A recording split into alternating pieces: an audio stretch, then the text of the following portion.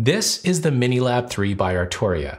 I've connected it to Push 3 standalone and now all the controls work.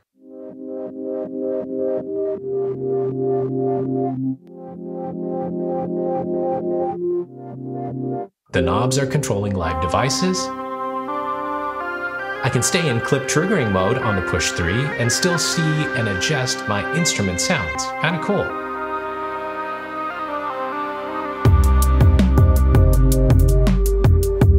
Something like a launchpad? Yep, I can be launching clips on push and adjusting track levels on the launchpad at the same time.